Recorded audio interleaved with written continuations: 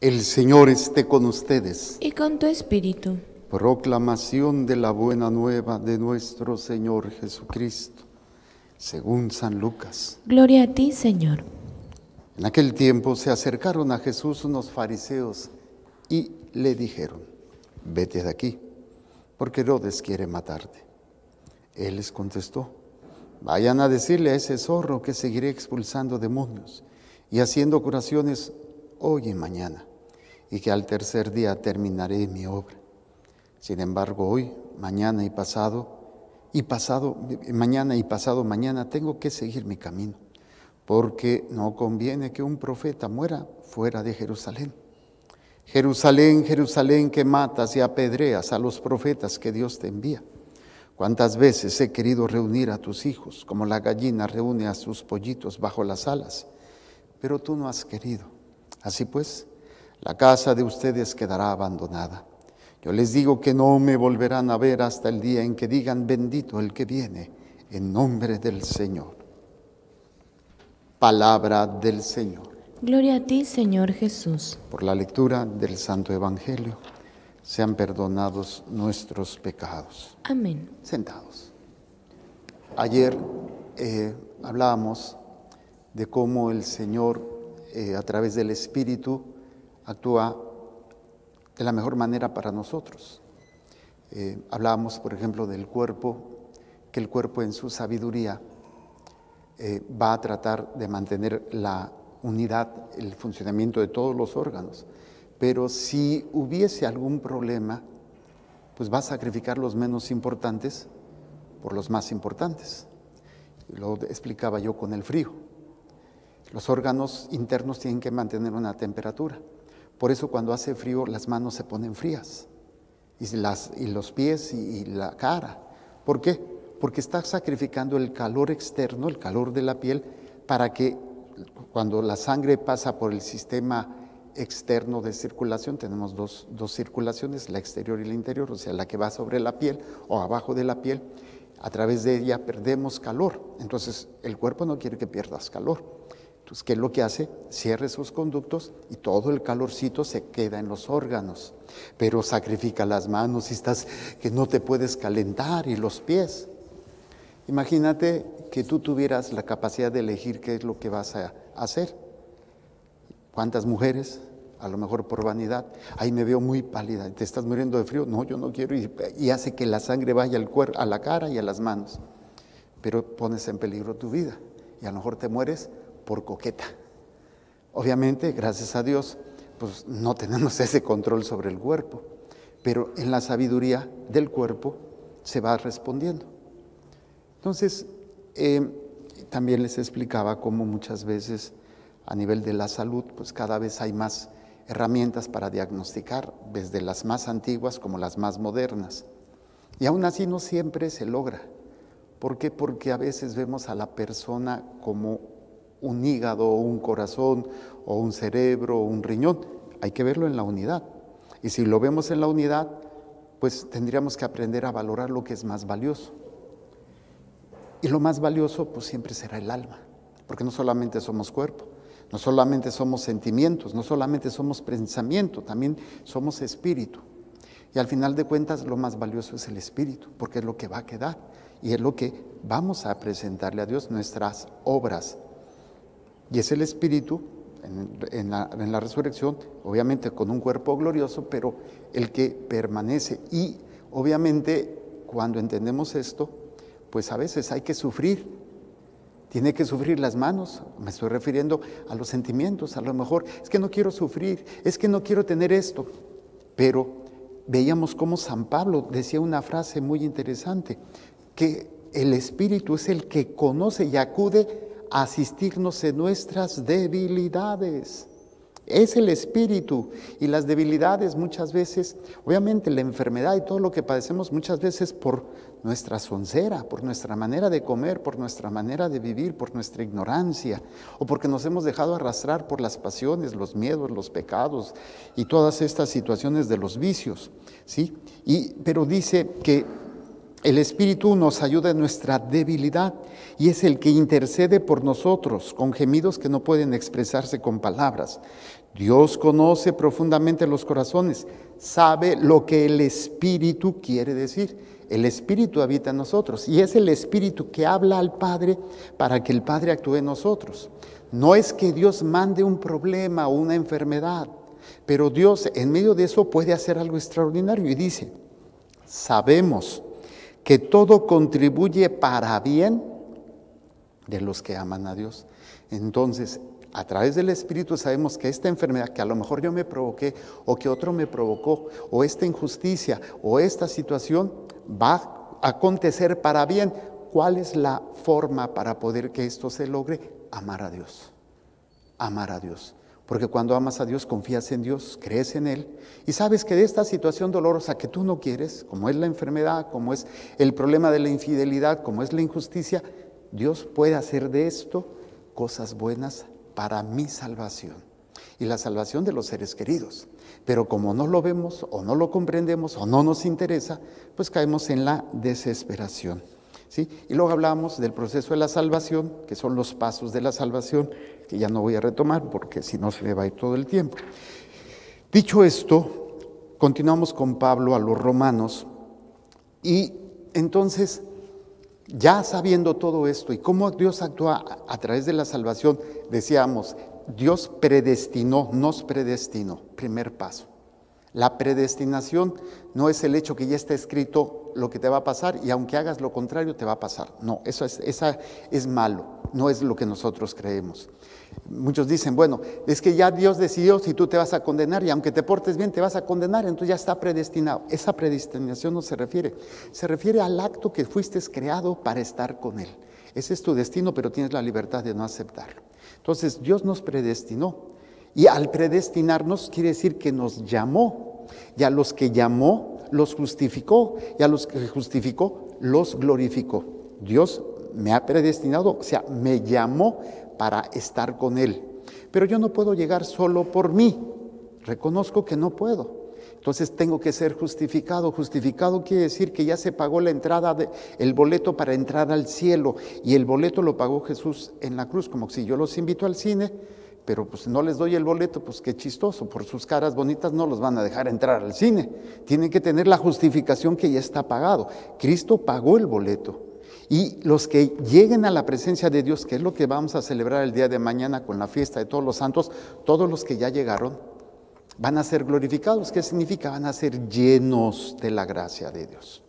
Ahora, dicho esto y entendido esto, ¿qué es lo que nos dice Pablo ahora? Continuación de lo de ayer.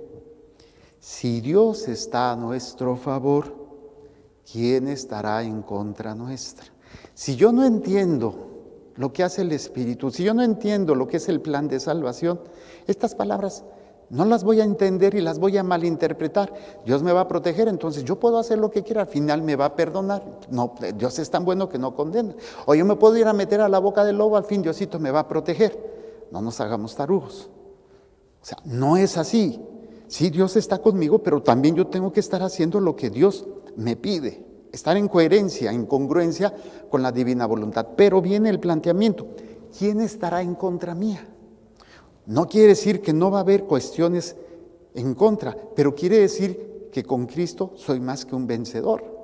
Entonces dice, el que no escatimó a su propio Hijo, sino que lo entregó por todos nosotros, ¿cómo no va a estar dispuesto a dárnoslo todo junto con su Hijo. Esa es la pieza clave. Porque yo puedo pedir cosas que no vayan de acuerdo a lo que Jesús hizo. Pues entonces no se me va a conceder. O que yo estoy pidiendo cosas que no me van a ayudar a la salvación de mi alma. Entonces, Dios me va a conceder todo lo que sea necesario para mi salvación, junto con su Hijo, que es el que me atrae la salvación. Una manera muy simple de entender esto, la mamá que va limpiando la casa y atrás vienen tirando todos los hijos. Y oye, ¿para qué limpio? Sí, pues están tirando todo esto, ¿no? Entonces, obviamente, si el Señor vino a salvarnos, si nosotros nos alejamos y nos estamos eh, condenando, pues ahí ya no, ya no funciona esto. Pero el planteamiento es este, sabemos que tenemos que enfrentar todas estas situaciones, pero no es lo mismo enfrentarlos solos que con la conciencia de la salvación y la fuerza del Espíritu. Dice, el que no escatimó a su propio Hijo, sino que lo entregó por todos nosotros, ¿cómo no va a estar dispuesto a dárnoslo todo junto con su Hijo? ¿Quién acusará a los elegidos de Dios? Todos cometemos pecados, todos le hemos regado. Pero si tú te has arrepentido y tú has purificado, reparado el daño hecho, pues, ¿quién te puede acusar? Existe el daño, pero ya fuiste perdonado. Obviamente la reparación muchas veces nosotros no la podemos hacer, por eso ganamos indulgencia plenaria, para poder reparar. Y es Jesús el que nos da la indulgencia plenaria. Se puede ganar en los días específicos, por ejemplo el sábado, el ir al panteón, pero estando en gracia, eh, confesado, comulgados, participar y hacer una oración en el panteón, en el cementerio, te gana indulgencia plenaria. O sea, ya, aunque hayas cometido los peores pecados, no son como nosotros, ¿no? Perdono, pero no olvido, ah, me hiciste esto infeliz, no creas que se me ha olvidado y te lo voy a estar recordando. No, el Señor ya te perdonó, nadie te puede acusar, nadie. Y dice, ¿quién acusará a los elegidos de Dios? Si Dios mismo es quien los perdona, ¿quién será el que los condene? ¿Acaso Jesucristo, que murió, resucitó y estado a la derecha de Dios para interceder por... Pues si Él lo que quiere es que te salves, no quiere condenarte, pero tú tienes que hacer conciencia de lo que hablábamos ayer y que trate de explicarles ahorita. Ahora, ¿qué cosa podrá apartarnos del amor con que nos ama Cristo? Pareciera que nada. El que puede apartarte del amor de Cristo eres tú porque le das más prioridad a lo demás. Fíjense lo que dice Pablo. ¿Qué cosa podrá apartarnos del amor con que nos ama Cristo? Las tribulaciones. Hay gente que se aparta de Dios por las tribulaciones, le da más poder a las tribulaciones, cae en la ansiedad, cae en el miedo, cae en el de, es que no quiero pasar, es que quiero que se solucione. Y por eso se obsesionan. Las angustias. O sea, quiere decir que esto no va a desaparecer, vas a enfrentarlas pero esto no me tiene que apartar de lo que Cristo me está ofreciendo. Si yo lo permito, pues obviamente voy a terminar completamente alejado. ¿Qué podrá apartarnos del amor con que nos ama Cristo? Las tribulaciones, las angustias, la persecución, el hambre, la desnudez, el peligro, la espada. O sea, hablar del peligro de la espada, pues, Pablo murió con la espada. Quiere decir que Dios, que Jesús le falló a Pablo porque no lo apartó de la espada. No, no lo apartó de la espada, pero lo apartó del miedo a la muerte y de condenar su alma.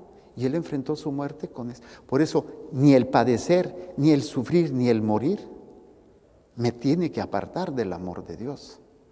Por eso es tan importante entender la fuerza del Espíritu y el plan de salvación para que cuando enfrente los problemas y enfrente las dificultades, no me agarre mal parado, incluso las confusiones que se están dando. Yo me he puesto a, oír a varios sacerdotes que tienen pues esta cuestión de, de hacer videos, ¿no? Los comentarios que cada uno ha hecho sobre lo de la Pachamama, sobre el Papa, sobre el sínodo, los oigo, los observo, digo, ok, yo nada más digo hay que esperarnos, hay que orar y esperarnos todavía a ver qué sucede con lo del sínodo, que es el documento oficial que va a sacar el Papa. Que si hay confusión, sí la hay. Que hay cuestiones que no se debían haber dado, sí las hay. Pero mejor vamos a orar. Y hay que conocer nuestra fe para que no nos engañen, así sea obispo, sacerdote, cardenal, lo que sea, y papa, que pudiera decir algo que sea contrario a nuestra fe. Uno de los sacerdotes decía algo muy cierto, dice, bueno, hasta la fecha no ha habido un papa en toda la historia de la papa que haya caído en herejía. Que haya caído en cuestiones inmorales es otra cosa. Y decía el, sacerdote, bueno, ¿por qué? Porque las palabras de Cristo y las puertas, los poderes del infierno no prevalecerán sobre la iglesia, ¿no? Hay que confiar, pero si vinieran esas, esas circunstancias, todos nosotros mantenernos firmes en lo que ya conocemos. Pero si yo no conozco mi fe, pues estas tribulaciones, estas confusiones me van a apartar. No, si por eso yo no creo en la iglesia, que quién sabe qué, y termino más perdido que nada por la confusión. Por eso dice Pablo, ¿quién podrá apartarnos? Ahora dice, ciertamente de todo esto salimos más que victoriosos. La victoria no es que no vas a tener eso. A veces sí vas a vencerlo y ya no lo vas a tener, pero otras veces va a seguir, pero esto no me va a apartar de mi fe, de mi confianza en Dios y de la meta que tiene para mí la vida eterna. Soy victorioso cuando puedo cargar la cruz. Soy victorioso porque a pesar de lo que vivo, no me aparto de mi fe y mi confianza en Dios. Soy victorioso porque muero creyendo en Dios y en la vida eterna. Y entrego mi vida y entrego todo. Soy victorioso porque doy testimonio en medio de todo esto de que Dios está conmigo. Esa es la victoria. La victoria de la fe, de la esperanza y la caridad en medio de todas estas situaciones. Ciertamente de todo esto salimos más que victoriosos, gracias a aquel que nos ha amado. Una de las cosas que les decía del plan de salvación que veíamos ayer es, o sea, decía el texto, esta frase interesante, todo contribuye para bien de los que aman a Dios. ¿Cuál es el primer paso antes de amar a Dios? Saber cuánto Dios me ama. Y saber de cuánto Dios me ama me lleva a amar a Dios. Y de todo este amor de Dios dice, dice ayer, decía ayer, ya sabemos que todo, todo, todo, todo, lo bueno y lo malo, todo, todo contribuye para bien de los que aman a Dios. Y por eso dice aquí, ciertamente de todo esto salimos más que victoriosos gracias a aquel que nos ha amado, la fuente de lo que yo hago, la fuente de lo que yo vivo, la fuente de lo que yo soporto es el amor de Dios por mí. Y tengo que crecer en ello y tengo que meditar. Es como cuando está la parejita. Hoy no me dijiste que me amas, ahí sí te amo, ahí se siente, ahí sí me ama y se vende todo bien emocionado. Bueno, pues meditar ese amor de Dios que todos los días te lo grita en la misa, te lo grita en tus oraciones, te lo grita en el amanecer, en todo lo que te ha dado.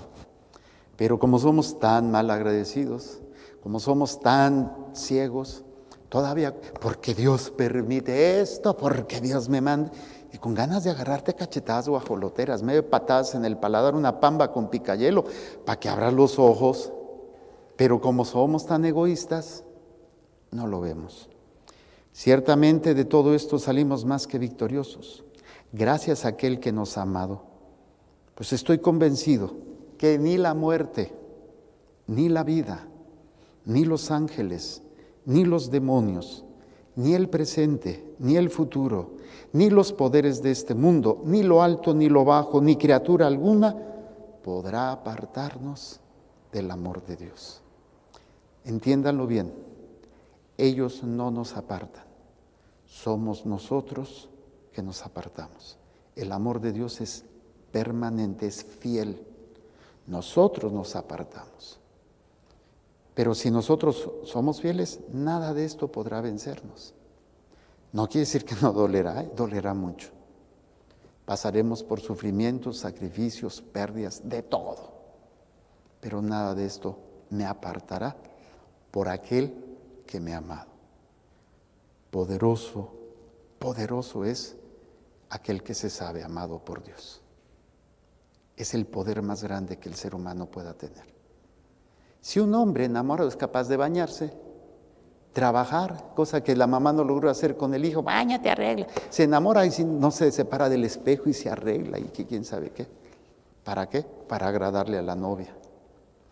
Cuanto más nosotros, sabiéndonos amados por el único Dios verdadero, no seremos poderosos, no seremos capaces de experimentar y de vivir su gloria, su bendición y Termino rápidamente ya para no prolongarme mucho.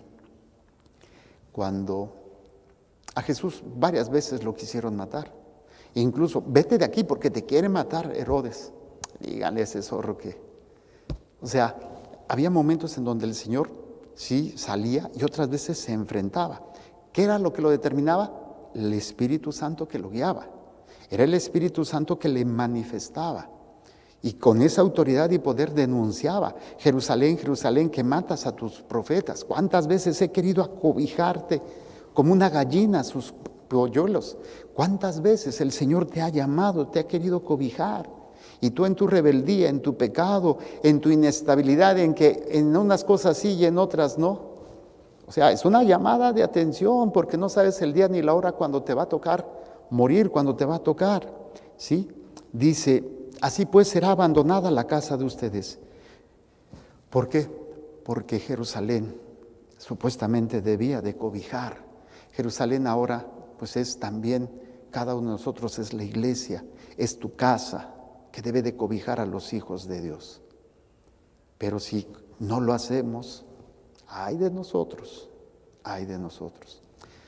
Preparemos nuestro corazón. Mañana celebramos a todos los santos que no están canonizados, pero que ya están en la presencia de Dios. La iglesia triunfante. El sábado celebramos y pedimos por toda la iglesia purgante.